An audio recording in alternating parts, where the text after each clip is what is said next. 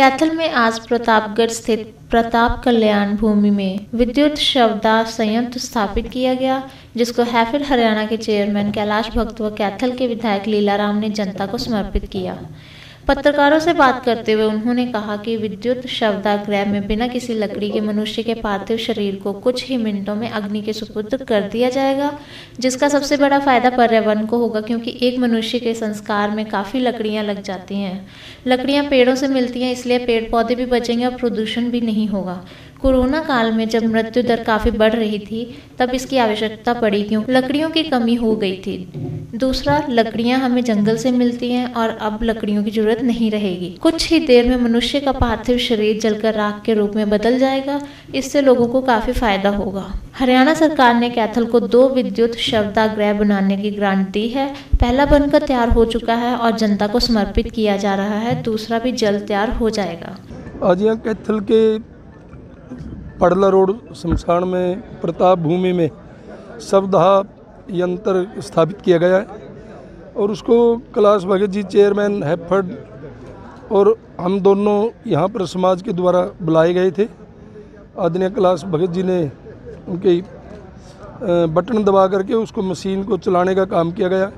और मैं इसके लिए आदरणीय शिवशंकर पहावा जी, कृष्ण नारंग जी, उनकी संस्था का सबका धन्यवाद करना चाहूँगा कि उन्होंने एक बहुत अच्छा कदम उठाया है। इससे जहाँ पर लकड़ियों की बचत होगी, लकड़ी के, की जगह पर पर्यावरण में बहुत सुधार होगा वनों को कम काटा जाएगा। ये एक कैथल शहर के लिए एक तोहफे के रूप में कहूँगा मैं। आज इस संस्था ने दिया है और आदरणीय मुख्यमंत्री जी से इन्होंने सलाह, विचार, विमर्श करके इसको यहाँ पर लगाने का काम किया है। मैं इसके, आपके माध्यम से, मीडिया के माध्यम से हरियाणा सरकार का भी धन्यवाद करता हूँ। और ये एक बहुत अच्छा कदम है, क्योंकि ये तो निश्चित है जिसने जन्म लिया, उसने जाना भी निश्चित है और इससे पर्यावरण में बहुत ज़्यादा सुधार होगा।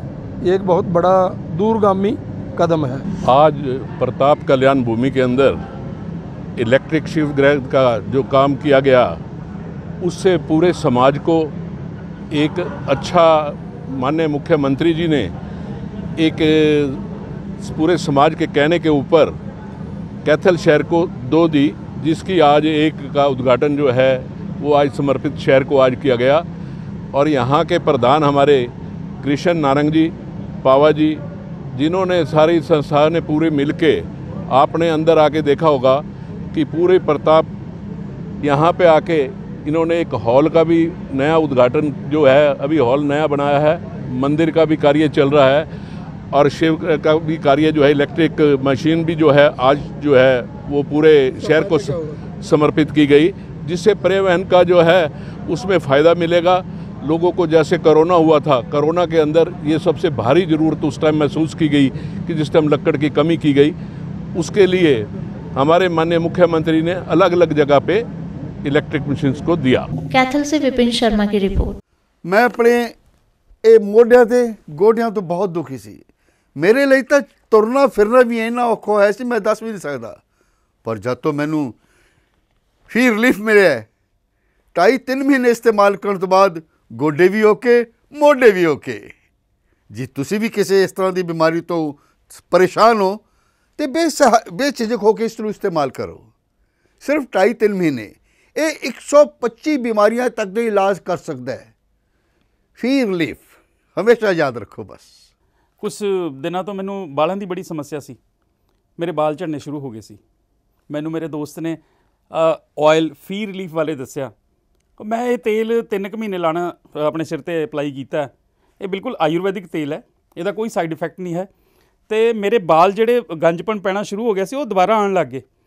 ਤੇ ਮੈਨੂੰ ਤਾਂ ਬੜਾ ਫਾਇਦਾ ਦਿੱਤਾ ਇਸ ਨੇ ਜੇ ਤੁਹਾਨੂੰ ਵੀ ਕਿਸੇ ਇਸ ਤਰ੍ਹਾਂ ਦੀ ਪ੍ਰੋਬਲਮ ਦਾ ਤੁਸੀਂ ਸਾਹਮਣਾ ਕਰ ਰਹੇ ਹੋ, ਤਾਂ ਇਹ ਤੇਲ ਲਾਣਾ ਨਾ ਭੁੱਲੋ। ਕਿਤਨਾ ਕਿਤੇ ਅਸੀਂ ਆਪਣੇ ਬਾਲਾਂ ਕਰਕੇ Sharon Field